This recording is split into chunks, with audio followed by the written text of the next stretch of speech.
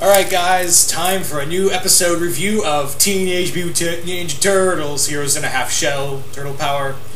And yeah, this, uh, oh man, um, twice in one day, Nickelodeon. Not only do you have time skips, but also great episode, great episodes for those said time skip stories.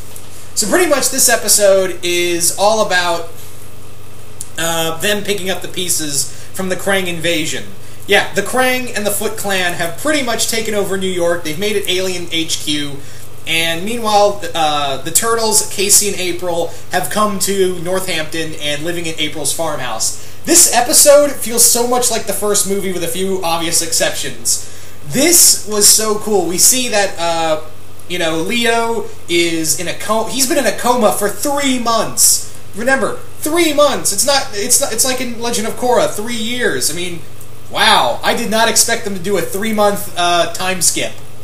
But in that time period, uh, Raph, uh, has been watching over uh, Leo, kind of like in the in the original movie, it was Leo watching over Raph. We also have Donnie uh, uh, working in his lab, and also Mikey on the on the farm, whereas April uh, writes down everything in her journal. It is so much like the first movie, and I can't help but be like, yeah, that is so awesome. So pretty much, uh, they're all trying to adjust. Also, there's this. there's also, as always in the previous two seasons, there's a new show that the turtles are watching. Is it? And it is a complete and total parody of uh, Thundarr the Barbarian. The moment I saw it, I'm like, Thundarr. it's kind of like in the previous season we had one that was like Voltron, and the other one, and the one before that, it's like obviously Star Trek. I got to give a lot of credit to the writers of this show. They know how to do. Uh, they know how to do some good parody stuff. So anyway, while this is all going on, uh, Leo finally wakes up, and yeah, we actually and yeah, we actually get a get this. We actually get a real reason why he sounds different, and uh, I'll get to what I think of Seth Green as Leonardo in a second, but yeah, they give an honest to god explanation of uh, of uh, Leo's the reason why Leo sounds different. And yeah, get this, Leo Leo took so much damage to his body that uh, his his, thor- his uh, throat was damaged, and now that's why he sounds different. It's done permanent damage. Uh, he was beaten so badly that it did it did permanent damage to his throat, and that's why he sounds like Seth Green now. That's why he sounds differently. I thought that, I didn't even believe I I uh. I was just thinking, oh, they'll just, uh, you know, not even acknowledge that and keep going. But no, they give an honest explanation of why he's get why he sounds different. Uh, that's really cool. Kudos to the writers there. Also, uh, to Lydia, uh, Lydia, uh, also to Lydia uh, Cerebros. By the way, Lydia, you were right. You made a joke saying that Leo got beaten so badly that his voice changed from Jason Biggs to Seth Green. Yeah, you weren't too far off. In fact, you hit the nail on the head. So good on you, Lydia.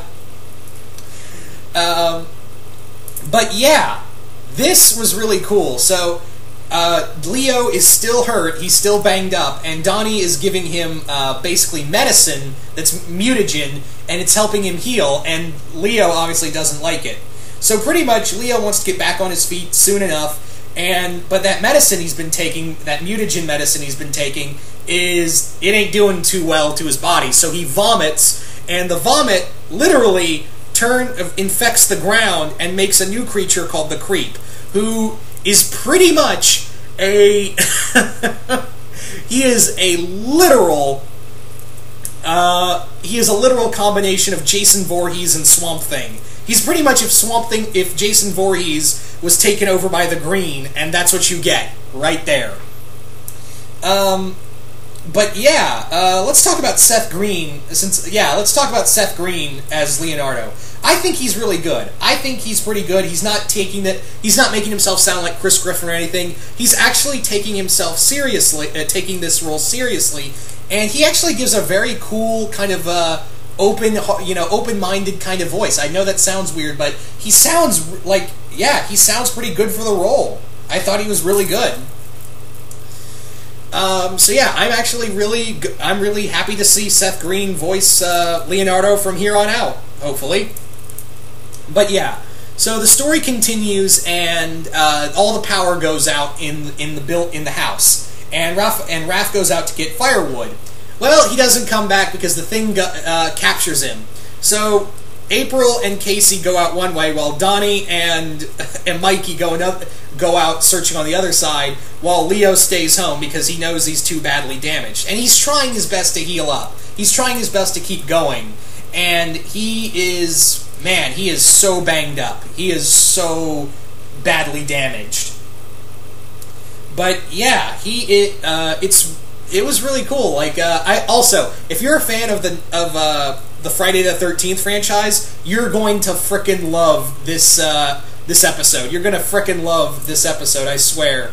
It was so cool to see all the references, like uh, when uh, when Mikey and Donnie go into the little uh, shack and find Leo and find Leo's medicine on a table with candles around it. It's so much like with with uh, Jason keeping his mother's head as like a little tro- as a little on a little pedestal on a little little altar. It's kind of like that. We also have him wearing a sack on his head, like in the fir- like in the second movie, and carrying around a pitchfork. Remember, in the second movie, Jason didn't use a pitchfork.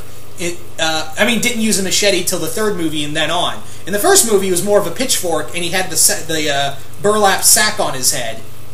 So, and then they finally use Kate, uh, Casey's mask, and he uses it as his, as uh, the hockey mask. And also, he get he get he manages to get uh, Leo's sword, one of them at least, and uses it like the machete. So I I really dug that. It was, and also another cool feature is that they actually had the music from uh, the sound effects and some of the music, the the original music from Friday the Thirteenth, the whole. And also some of the uh, fast-paced music from the original movies. So kudos to you guys for making a very cool, uh, a, a, very cool tribute to uh, to uh, to Friday the 13th. Kudos to you guys. Uh, so yeah, Leo, while still training, discovers April, who gets dragged back into the forest, and April, and uh, and Leonardo pretty much is like, well, it's time to nut up or shut up. Meanwhile, we also discover what happened to Raph. Raph has been uh, pretty much converted into a plant-like creature, who then gets literally absorbed into the creep. He gets his mutagen just taken away, and yeah, he gets literally absorbed in this creature and turned into a plant. That is terrifying. That is freaking terrifying. And yeah, you get this. Uh, you almost get like, oh my god, they just killed Raph right on screen. But then Leo comes in, still banged up, and yeah, they have a really cool fight. Leo manages to rescue the others, and together they manage to defeat the uh, uh, the creep, as uh, Mikey calls him. And yeah, they they manage to defeat the creep, and but uh, they also managed to rescue Raphael by converting all the uh, uh, mutagen from Creep and into Raphael's body. So they managed to fix him. Very Deus Ex Machina, mind you, but I'm okay with that. I am pretty okay with that kind of ending. All in all, absolutely loved this first episode. It's very, it, it's man, Nickelodeon. Not only do you have the whole time skip uh, time skip thing in this episode, like you did in Korra, but also you had a great opener for an episode uh, uh like you did with Korra. So twice in one day. Good on you guys. Uh, I I applaud you. I applaud you, Nickelodeon.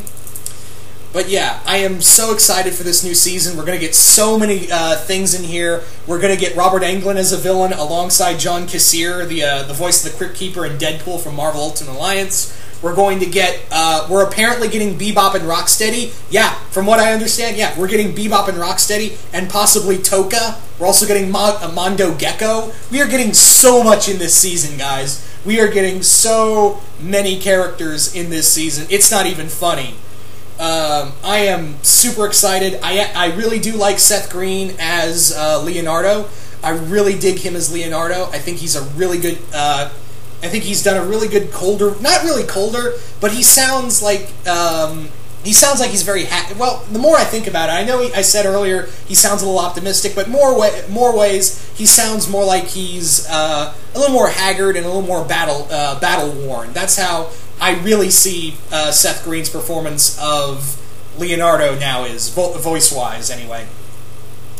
But anyway, I really love this. So you guys tell me, what did you guys think of the opener for Teenage Mutant Ninja Turtles Season 3? Did you guys like it? Did you guys hate it? Comment below, let me know. Um, I'm really interested to see what you guys think of all this. And yeah, once again, I hope you guys enjoyed this, and I am out.